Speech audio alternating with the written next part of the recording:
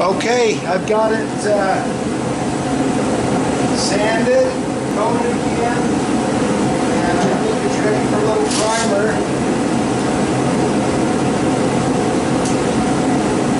So I'm just going to lay that little tape.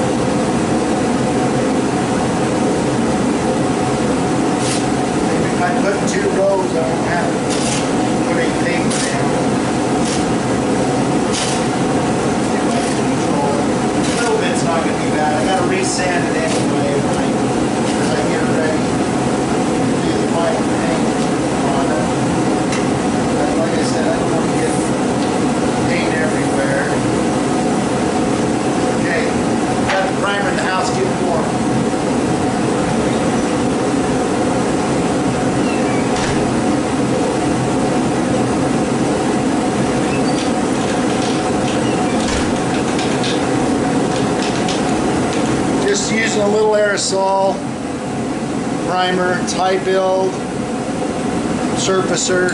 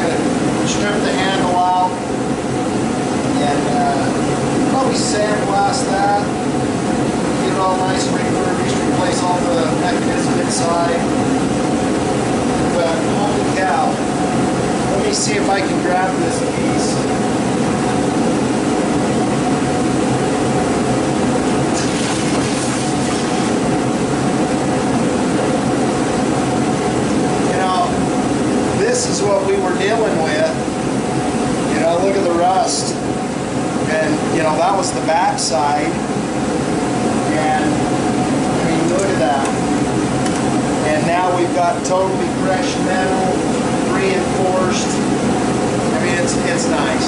It's a nice repair. And it'll last my, outlast me, I'm sure. But I couldn't be happier with how that turned out. So, got some work to do on the back side. Basically the same thing, just gonna do some filling and uh, sanding and getting it all looking good, and then uh, move on to taking the bed off and getting that ready to uh, paint. Doing the frame underneath. That'll be a lot of work, but uh, that's next time.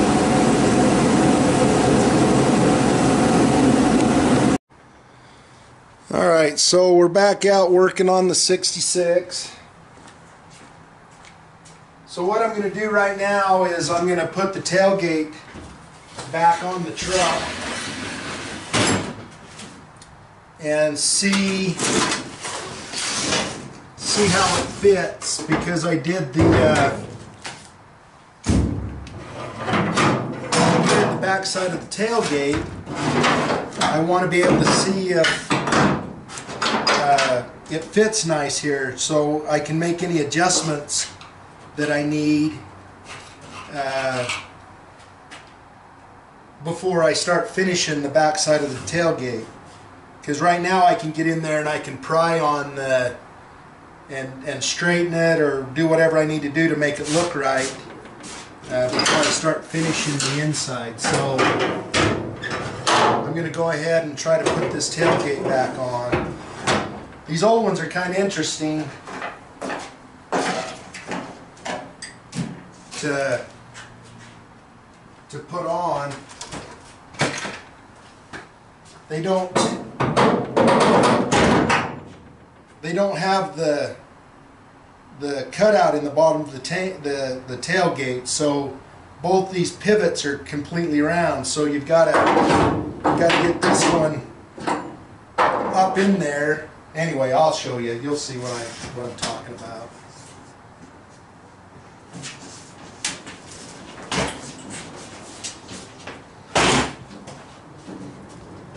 So you put this side in.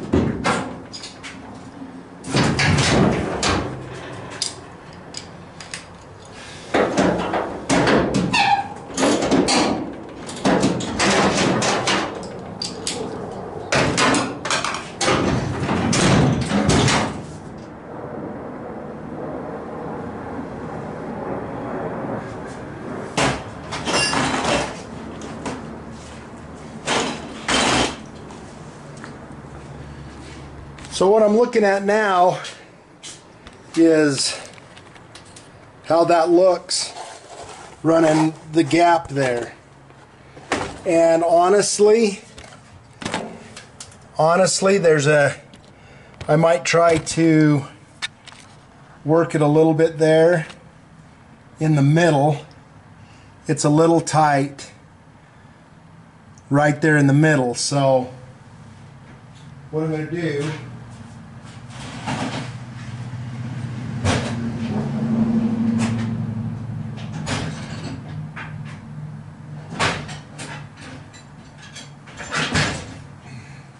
get my pry bar and then see if I have a small piece of wood.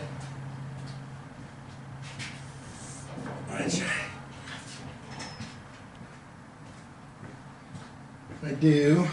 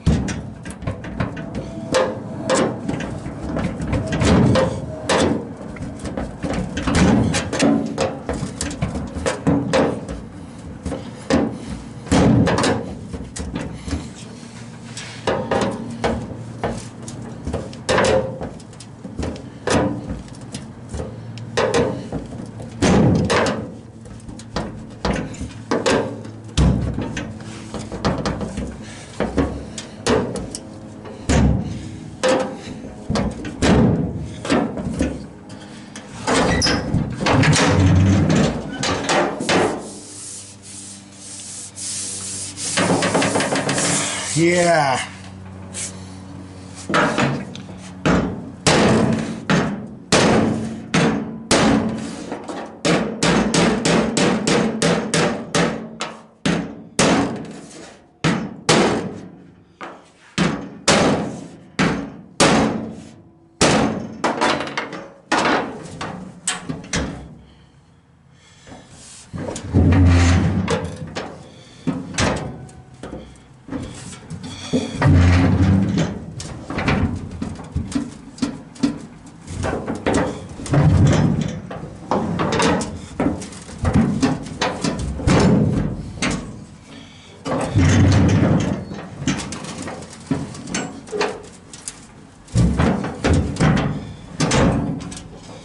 Well, I think I'm going to leave that alone.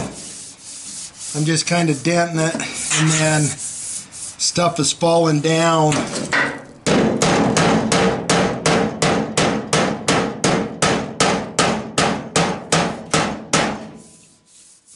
So I think I'm just going to leave that alone.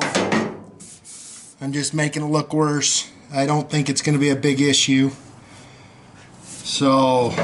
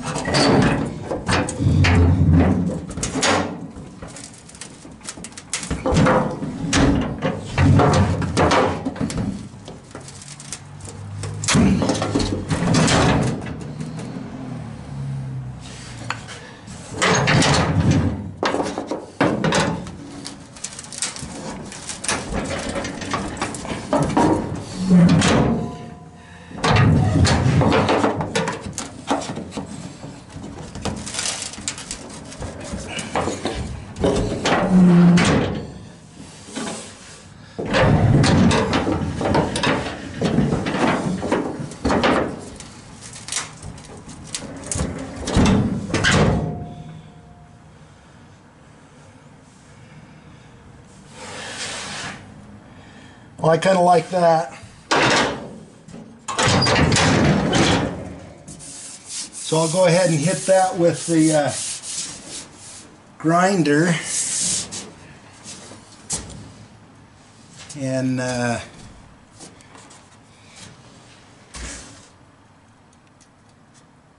looks like I need to weld up a couple of holes. So let me grab my welder. Got to weld up a couple holes and I'll grind this a little bit and then we'll put some uh, put some filler in it. I think I'll just work it with it here on the truck. Nice and solid, doesn't want to go anywhere. So, okay.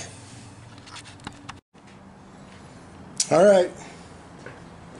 Made a mess.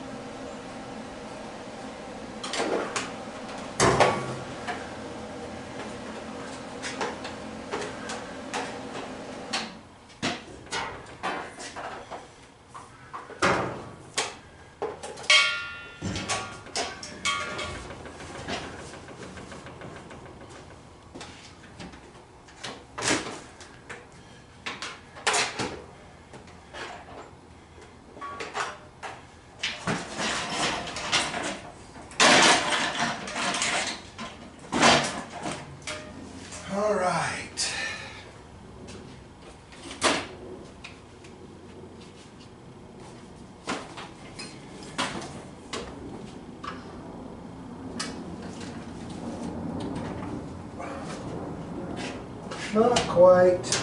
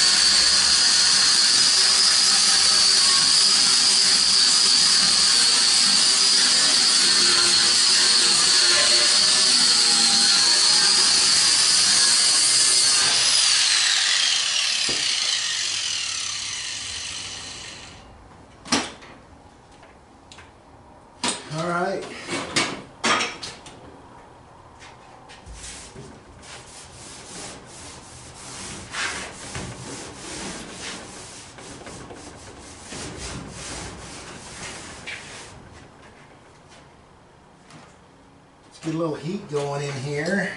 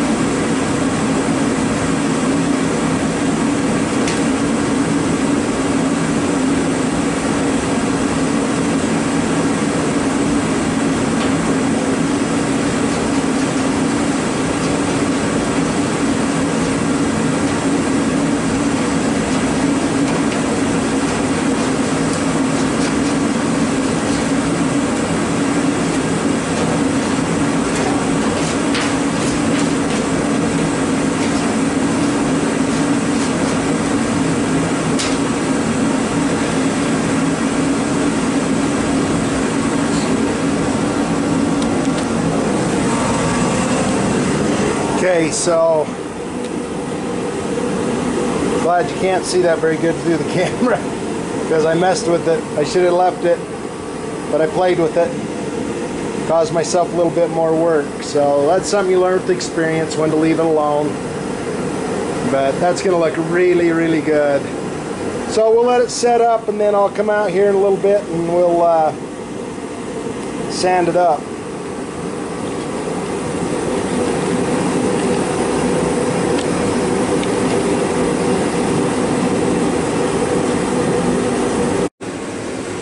So a good friend of mine, when I was growing up, we were uh, 16 years old, 17 years old, and uh, getting this truck ready to paint for the first time, and we had no power tools.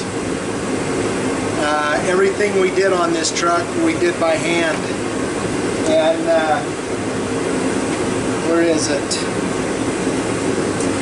We had we had one of these, a long block, and we had one of these. Matter of fact, it might have been this one, this rubber block that we had. And uh, the both of us, one would get on one side, one would get on the other, and we'd just go to town on the thing with this long block. Uh, no DA, no electric sanders, no nothing. We got it ready and did it all by hand.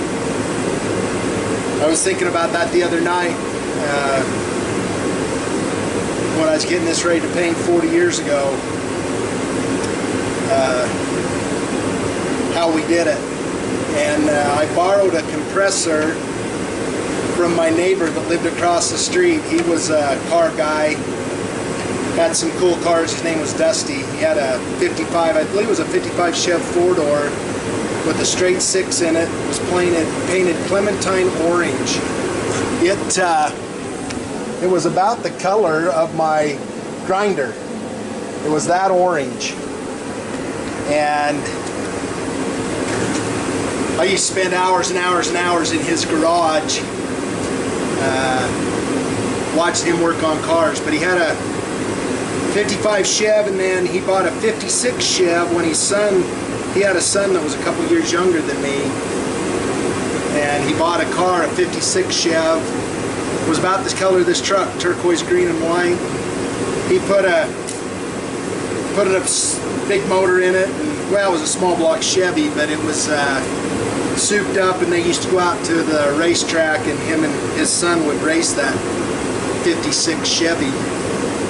I remember going over there and helping him mess with that but anyway, I borrowed his compressor and he had a an old uh, suction gun and we mix up the primer and throw newspaper on the windows and we primed the heck out of it and uh, it stayed that way for a long time. I got it, we got it ready to paint but we never painted it. Uh, probably took another three, it was in primer for probably two, oh, two or three years before I could uh, get it painted. But yeah, just how things have changed in 40 years. Being able to have some power tools, a little bigger compressor, a welder, stuff like that, it really makes uh, makes this a little easier to do. And then, you know, 40 years of knowledge, you know, that doesn't hurt either. But, you know, we were young, dumb, didn't know any better, so we got out there and worked our fannies off and got it ready to paint and got it painted. And it was beautiful for lots of years. It looked really, really good. And then it didn't, it got to where it wasn't my daily driver and it sat a lot. So anyway, uh, I'm gonna see if this last coat's ready to sand and sand it and then I'll prime it and we'll take some video of it being finished like I did the other side.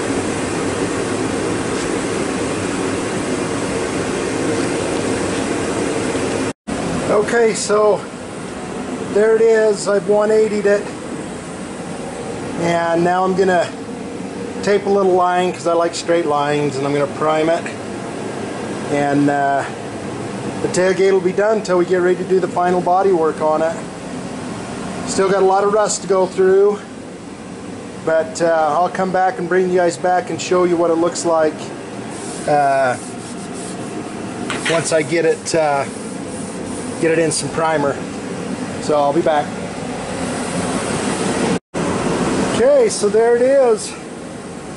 All primed up. Looks pretty dang good. Right there's the piece I took out. You see how nasty that was. I keep showing you that, but I'm pretty proud of this. but yeah,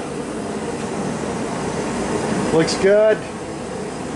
Been a long time since it didn't have a vented tailgate. So that's about it for the tailgate. Uh, I think the next time I work on it, I'm going to try to take the bed off, work on the cab corners, stuff like that. Depends on the weather. I might work on some stuff that's a little easier, like maybe, uh, I think I've showed you guys this before, but I got some custom venting going on the fender wells and and up here on the radiator support. So I might tackle these next. Uh, I can cut them out and tack them and then take the fender off and then do the inner fender. So maybe that's what I'll do. But uh, I know I still got a lot of rust underneath and, and then of course there's the cab. Uh, you can see over there some really serious rust. We're gonna grind it all out down here and separate it. Leave, try to leave the drip edge and then uh, put the new top in, the new cab in. But I'm gonna wait till it's warmer weather for that. Talking about uh, relocating the gas tank to the back getting the uh, tank out of the cab so you don't have to smell the fumes all the time.